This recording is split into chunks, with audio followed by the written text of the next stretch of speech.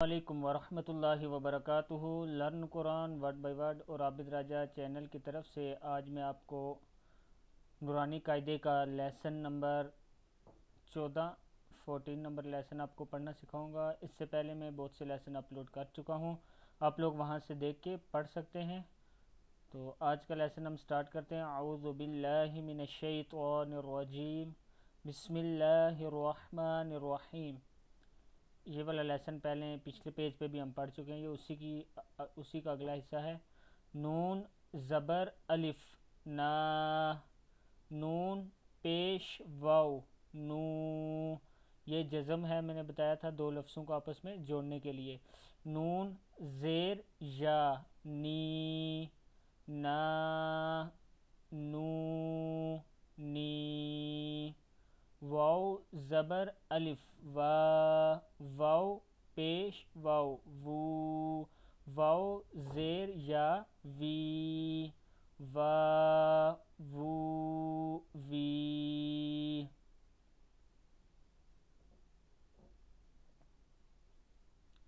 یہ ہے حرف لین۔ جیسے تا، زبر، واو، تاؤ۔ اس کو لمبا بھی نہیں کرنا، کھینچنا بھی نہیں ہے اور جھٹکا بھی نہیں دینا۔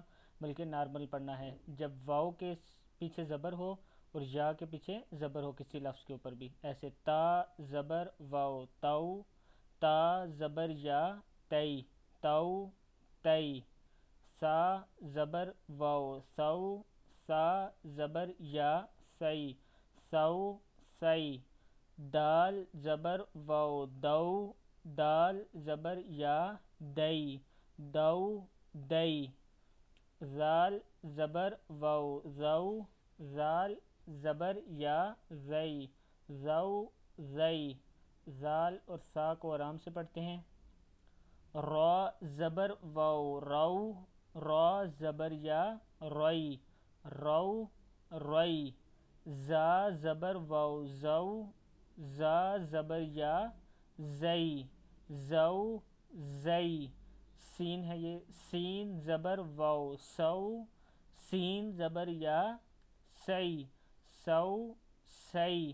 شین ہے یہ تین نقطوں والا۔ شین زبر واؤ، شو۔ شین زبر یا شئی۔ شو، شئی۔ سواد زبر واؤ، سو۔ سواد زبر یا سوئی۔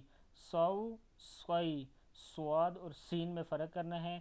شین کے اوپر تین نقطے ہوتے ہیں، بچوں کو پڑھاتے وقت یہ چیزیں ان کو بتائیں۔ زود زبر، واؤ زو زود زبر یا زوئی۔ زو زوئی۔ طوا، زبر، واؤ۔ تو طوا، زبر یا طوئی تو طوئی زوا، زبر، واؤ۔ زو زوا، زبر یا زوئی۔ زو زوئی۔ آگے دیکھیں۔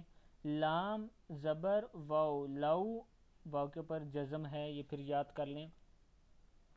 لو لام زبر یا لئی لو لئی، نون زبر واؤ نو نون زبر یا نئی نو نئی، حمزہ زبر واؤ او حمزہ زبر یا ای او ای، با زبر واؤ بو با زبر یا بئی۔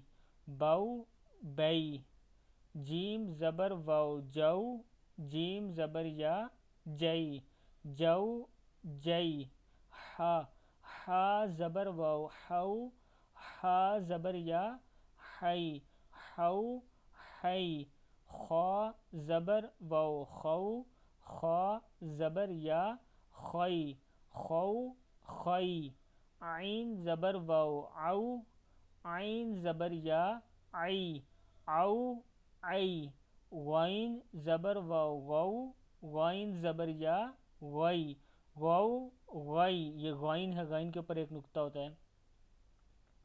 آگے دیکھیں، فا زبر واؤ فو، فا زبر یا فئی فو فئی قوف قوف کو موٹا پڑھنا کلکلا کہتے ہیں قوف زبر واؤ قو، قوف زبر یا قوئی قو قوئی کاف زبر واؤ قو کاف زبر یا کئی قوف اور کاف میں فرق کرنا ہے۔